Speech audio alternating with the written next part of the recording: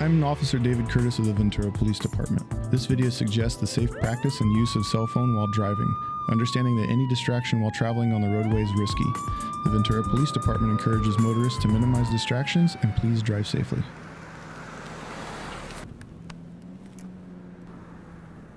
Hello, sir. Hello, officer. Dave Curtis, Ventura Police Department. Reason why I stopped you today is your use of the cell phone. All right.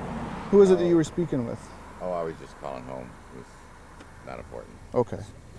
Well, you know, sometimes things at home can be important. So, were you speaking to anybody that's requiring any medical emergency or any kind of an expedient response? No, no. Okay.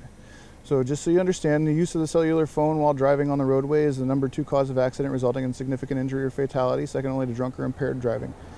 Uh, and in my experience, and if you pay attention to the road, you'll notice that a lot of people who are on their phone while driving kind of behave in a similar fashion that drunk or impaired drivers would. All right. Vehicle code requires that your phone be mounted in some kind of a carrier or cradle, uh, either up on the windscreen or on the dash.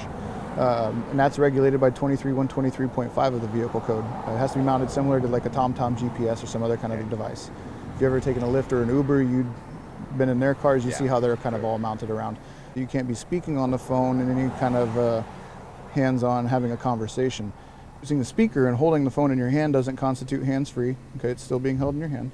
Uh, you can't be putting the phone in your hand to change a song, check the map, or anything like that. It has to be mounted, fixed somewhere, and out of your hand while you're traveling on the road. That also includes being stopped at red lights. Can't use it at any time. All right? Okay. Do you have any questions, sir? No, you've been very clear. All righty, sir. Just drive safely on the roadways and have a good day. Okay. All right, Thank see you, ya. officer.